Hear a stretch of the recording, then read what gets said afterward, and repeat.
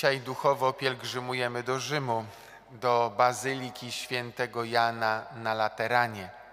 Myślę, że kiedy myślimy o Rzymie, to jakby w sposób spontaniczny, jakby zapytać Kościół w Rzymie, no to myślę, że każdy by powiedział Bazylika Świętego Piotra na Watykanie, no bo jest to najbardziej znamienity kościół, ale właśnie tym pierwszym kościołem była bazylika właśnie świętego Jana na Lateranie. To był pierwszy kościół wzniesiony, w którym można powiedzieć sprawował liturgię papież i tak funkcjonowało do XIV wieku.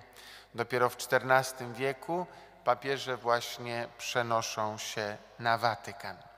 Czyli chcemy łączyć się z papieżem, bo my jako Kościół właśnie nie jesteśmy jakąś osobną satelitą.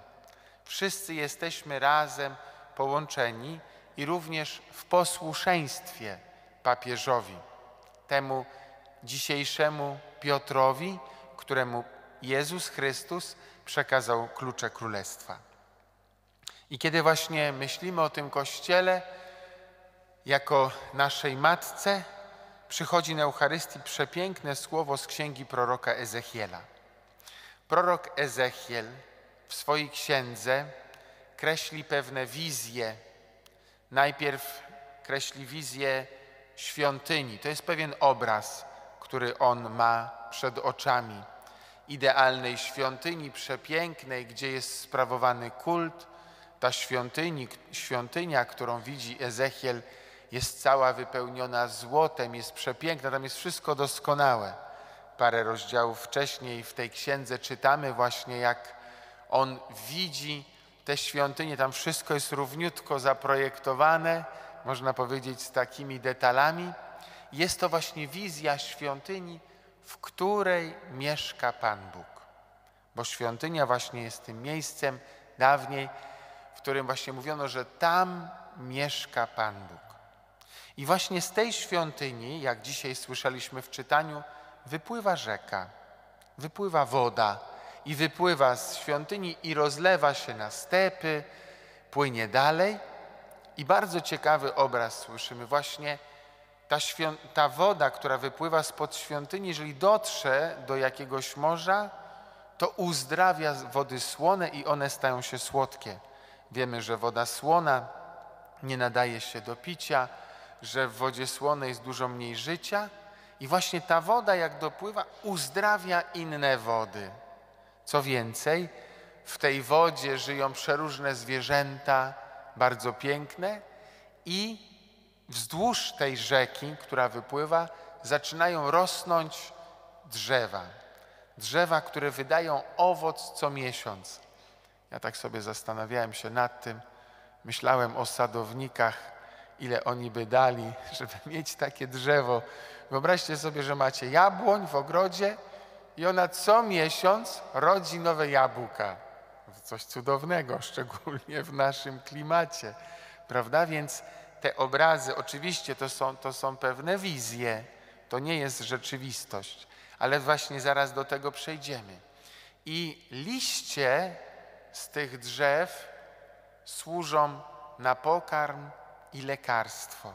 Czyli wszędzie, gdzie dopływa ta rzeka i zwierzęta są zdrowie, wody zostają uzdrowione i wszystkie drzewa, które czerpią wodę z tej rzeki, są, są cudownymi drzewami właśnie dającymi zdrowie i dającymi życie. I to wszystko jest jeden wielki obraz. Bo zobaczcie, kluczem do tego jest, że ta woda wypływa ze świątyni, spod ołtarza. Chcielibyśmy powiedzieć, tak jak tutaj rozpoczynałaby się jakaś rzeka, która by wypłynęła właśnie spod tego ołtarza. Jest to pewien duchowy obraz łaski Pana Boga, która spływa właśnie dla nas z tego ołtarza. To możemy powiedzieć, bo tutaj Bóg karmi nas swoim słowem. Tutaj Bóg daje nam życie, bo daje nam samego siebie. Jeden z braci misjonarzy z Ameryki Południowej Opowiadał, że kiedy przyjechał na misję, to był właśnie zdumiony, bo kiedy szedł na wioski odprawiać Eucharystię, to mamy na czas Eucharystii przynosiły swoje no, młode, nowonarodzone dzieci i kładły właśnie przy ołtarzu, przed ołtarzem, żeby te dzieci były tuż przy ołtarzu. I on spytał, dlaczego przynosicie tutaj wasze dzieci małe, dlaczego nie trzymacie ich ze sobą? A te mamy odpowiedziały, bo tu jest źródło życia, a my chcemy, żeby nasze małe dzieci miały życie. No i to jest prawda. Właśnie Bóg daje nam swoje życie i właśnie gdzie dopływała tam rzeka, wszystko stawało się zdrowe. Jeżeli właśnie dopłynie do nas ta rzeka łaski Bożej, to również my, grzesznicy, poranieni grzechami, słabościami, możemy otrzymać to zdrowie duchowe. Ono nie jest z nas. Ono wypływa, ta rzeka łaski wypływa ze świątyni, czyli od Boga. I właśnie ta łaska może być też tym lekarstwem, które leczy nasze poranione serca. Zobaczcie, jak wiele razy czasami jesteśmy w konflikcie z kimś, albo ktoś nam uczynił naprawdę poważną krzywdę i widzimy, że jesteśmy niezdolni, żeby przebaczać. Po prostu niezdolni, bo jesteśmy grzesznikami. I myślę, że mamy to doświadczenie, że kiedy klękamy do modlitwy i zaczynamy wytrwale prosić Pana Boga, to nie zawsze jest od razu. Ale kiedy właśnie prosimy Boga o łaskę, by móc żyć zgodnie z Jego przykazaniami, by żyć zgodnie z Jego wolą, a Jezus mówi: przebaczajcie sobie, miłujcie waszych nieprzyjaciół. To Bóg daje łaskę. Bóg właśnie uzdrawia nasze serca i to jest właśnie ta wizja Ezechiela tej płynącej rzeki, która daje życie. I myślę, że możemy sobie to dzisiaj powiedzieć. Jesteśmy błogosławieni, my, którzy przychodzimy do kościoła w tygodniu, że możemy karmić się codziennie Eucharystią, możemy karmić się Słowem Bożym, możemy karmić się łaską, którą daje Pan Bóg. To wielki dar, który Bóg nam daje i mamy misję.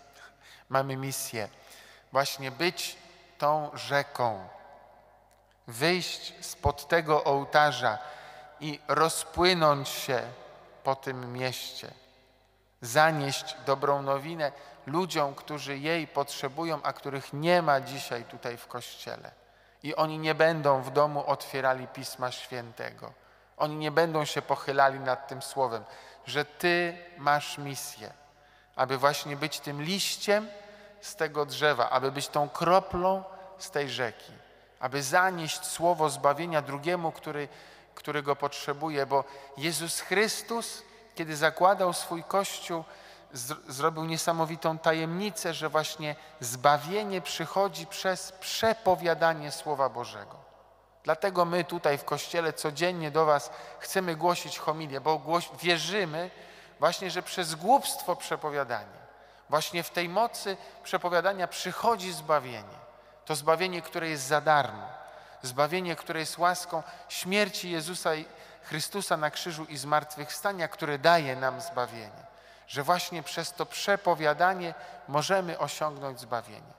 Bądźcie więc misjonarzami, tam gdzie Pan Bóg was pośle, aby wszyscy właśnie mogli czerpać z tego źródła, z tego źródła, którym jest Bóg. Amen.